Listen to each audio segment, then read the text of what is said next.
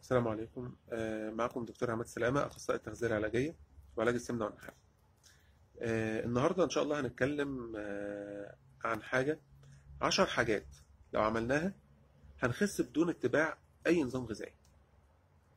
النصائح اللي أنا هقولها لكم دي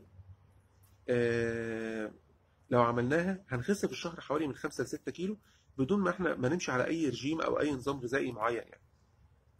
طبعا إحنا عارفين إن في ناس في ناس كتيرة جدا بتروح لدكاترة التغذية ياخدوا الورقة يقللوا كمية أكلهم يلاقوا نفسهم أول شهر بينزلوا تمام كويس جدا مفيش أي مشكلة خالص. فجأة تحصل مشكلة غريبة إن إحنا بنثبت على الميزان.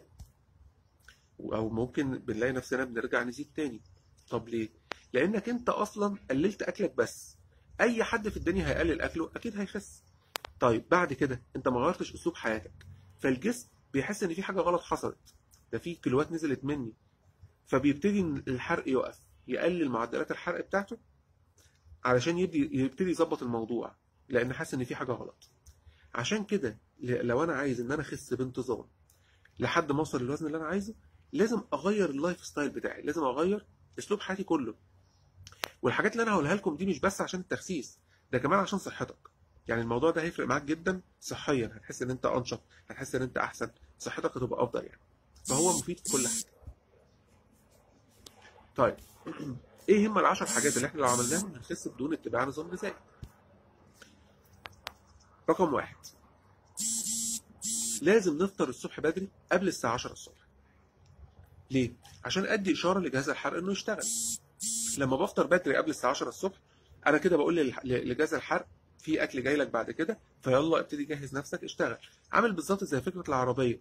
المفروض تسخنها الصبح عشان تقدر تمشي كويس. لو مشيت بيها مرة واحدة هتلاقيها بتقطع معاك وهتلاقيها مش ماشية مظبوطة. فإذا الفطار قبل الساعة 10 الصبح دي من أهم الخطوات اللي لازم نعملها علشان نزود الحرق في الجسم وعلشان ندي إشارة لجهاز الحرق إن هو يشتغل. رقم اتنين العشاء. إحنا اتكلمنا الفطار نتكلم على العشاء. لازم أقلل العشاء على قد ما أقدر أو أخلي كميات الأكل اللي باخدها في العشاء قليلة وما أكلش وأنام على طول يعني ما أجيش آكل وأروح نايم لأن لو جيت كلت ونمت الأكل كله هيتخزن في المعده وسبحان الله هم لقوا حاجة إن إن هرمونات الحرق بتبقى نسبتها كويسة جدا الصبح وبتقل هرمونات الحرق دي بالليل. عشان كده الصبح لما بناكل ممكن الأكل يتحرق بسهولة لكن لما لما بالليل بناكل كتير الأكل ده ما بيتحرقش وبيتخزن وبيزود الوزن. تالت حاجة لازم نأك... نقسم وجباتنا على وجبات صغيرة على مدار اليوم. يعني ما اجيش مثلا آكل وجبة كبيرة مرة واحدة. طبعا إحنا عندنا معظم الناس بيشتغلوا مثلا طول اليوم يرجع آخر اليوم بالليل يروح واكل وجبة كبيرة. مثلا الوجبة دي بيبقى فيها 1500 سعر حراري. المعروف إن الجسم ما بيقدرش يحرق في المرة الواحدة أكتر من 400 400 مثلا أو قول ماكسيمم 500 سعر حراري. طيب أنا دلوقتي جيت خدت وجبة فيها 1500 ال 1500 دول أصلا لو أنا مقسمهم على مدار اليوم هخس هخس 100% لكن لو أنا خدت وجبة واحدة بس 1500 سعر الجسم هيحرق 500 وهيتبقى 1000 ال 1000 هيعمل فيهم إيه؟ هيخزنهم مش هيقدر يحرقهم. فبالتالي هتزيد في الوزن يطلع لك كرش مشاكل في الهضم دهون على الكبد وحاجات من كده. يبقى لازم نقسم وجباتنا على مدار اليوم لوجبات صغيرة. رقم أربعة المية أي تفاعل كيميائي أو ميتابوليزم بيحصل داخل الجسم لازم نلاقي على السهم كده H2O لازم نلاقي مية. فإذا الحرق مرتبط ارتباط حتمي بالمية. الناس اللي بتقول لي أنا ما بقدرش إن أنا أشرب مية أقول لها اتعود. اتعود إزاي؟ هخلي المية جنبي هخلي إزازة المية جنبي. طول ما أنا ماشي آخد بقين مية كل نص ساعة آخد بقين مية لازم أتعود إن أنا المية تدخل لي باستمرار. دي حاجة مهمة جدا. شرب المية من أهم الخطوات اللي بنظبط بيها الحرق رقم خمسة الرياضة. أنا ما بطلبش من حد إن هو يروح جيم أو أو مثلا يجري على ال track لفترة طويلة أو كلام من ده. دي الناس اللي هي عايزة بقى تعمل fitness يعني. كل اللي مطلوب يا إما جري في المكان لمدة 10 دقايق لو أنت مش فاضي تنزل من البيت أو تتمشى نص ساعة في اليوم آه، بس مشي بسرعة آه، مناسبة وبخطوة مناسبة والفترة متواصلة. يعني نص ساعة تبقى متواصلة. ومش شرط كمان كل يوم. ممكن نخليها ثلاث مرات في الأسبوع. ده لوحده كفيل إن هو يزود الهارت ريت أو أو يزود ضربات القلب يعني ويظبط الدورة الدموية ويظبط الحرق. تمام؟ لو أنت زي ما بقول لك مش فاضي إن أنت مثلا تنزل تمشي نص ساعة ممكن إن أنت في البيت قبل ما تنام كده ب 10 دقائق ربع ساعة اجري في المكان. اتنطط كده شوية.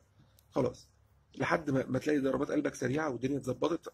وابتديت تعرق شوية كده يبقى الحرق ابتدى يتظبط معاك. طيب رقم ستة. وسبعة الملح والسكر. لازم أقلل الملح والسكر على قد ما أقدر. طب ليه؟ الملح بيجمع مية في الجسم بيأثر على الضغط بيفتح الشهية بيعمل تمدد في عضلات البطن يعمل لي آه، كرش. فأضراره كتيرة جدا. هيسألك السكر. سعرات حرارية على الفاضي. انتي كالوري يعني بديك سعرات من غير أي فايدة. آه، برضو بي بي بيأثر على آه، بيعمل دور على الكبد. بيغذي الخلايا السرطانية. ليه أضرار كتيرة جدا جدا جدا. فاذا أنا بحاول أقلل ال- الملح والسكر على قد ما أقدر. الملح المفروض احتياجاتي في اليوم كله معلقه صغيره ملح. بوزعها على مدار اليوم. فأنا ببتدي أقلل الملح تدريجي لحد ما أتعود إن أنا خلاص إيه ب كمية ال- الملح اللي أنا باخدها متعود على الاكل العادي يعني. بالنسبة للسكر نفس القصة ما يا اما بستبدله بعسل أو بستبدله بسكر دايت بس يبقى حاجة تراستد يعني مش مش أي حاجة لأن في حاجات طبعا عارفين إنها مسرطنة وكده فبنحاول إن إحنا نبعد عنها. طيب. رقم 8 الأكل ببطء. الأكل بسرعة يخليك تملى بطنك كتير جدا جدا جدا قبل ما إشارة الشبع توصل للمخ. لكن لو كلت بالراحة الأكل ينزل. واستنى شوية. الأكل لما بينزل المعدة يروح باعت إشارة للمخ. يقول له حاسب في أكل جاي وقف الأكل. فتحس بالشبع.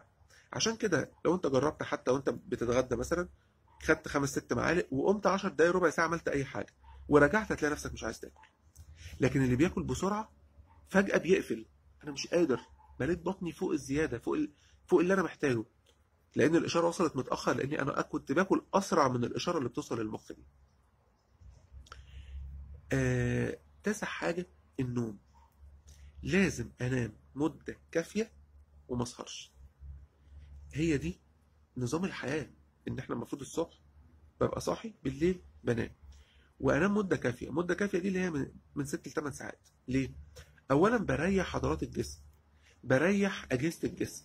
عشان لما أبتدي يوم جديد أبتدي أقدر أحرق كويس ويبقى الدنيا معايا متظبطة.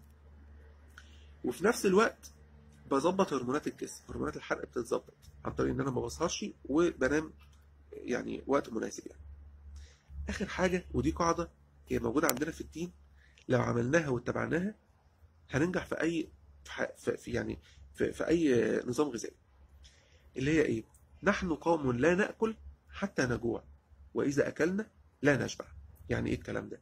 يعني أنا المفروض ما أكلش غير وأنا جعان مش باكل كهواية. يعني إحنا عندنا وصلنا لمرحلة إن إحنا بناكل وأنا زعلان وأنا مبسوط وأنا عندي امتحان وأنا بكرة ما عنديش امتحان برضو عندي إجازة بس هاكل. يعني أنا باكل في جميع الحالات. أنا باخد الأكل كتسلية. وده غلط. أنا باكل بس لما أبقى جعان.